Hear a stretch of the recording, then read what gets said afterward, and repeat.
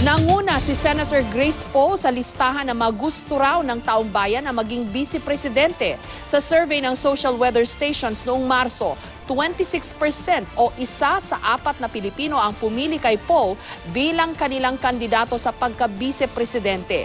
Pumangalawa naman si Interior Secretary Mar Rojas na nakakuha ng 12% at pumangatlo si Vice President Jeju Marbinay na nakakuha ng 7%. Pasok din sa listahan sina Senator Cheese Escudero, Miriam Defensor Santiago at Davao City Mayor Rodrigo Duterte, Senators Bongbong Marcos, Alan Peter Cayetano, Antonio Trillanes IV at Manila Mayor Joseph Estrada. Pasok din sa listahan sina Senator Loren Legarda, dating Senator Panfilo Lacson, dating Senator Manny Villar, Senator Jinggoy Estrada at Batangas Governor Vilma Santos Recto. 7% naman ng mga sumagot sa survey ang walang mairekomendang pangalan sa pagka-vice-presidente, habang 13% naman ang walang sagot. Wala raw nag-commission sa SWS para gawin ang survey.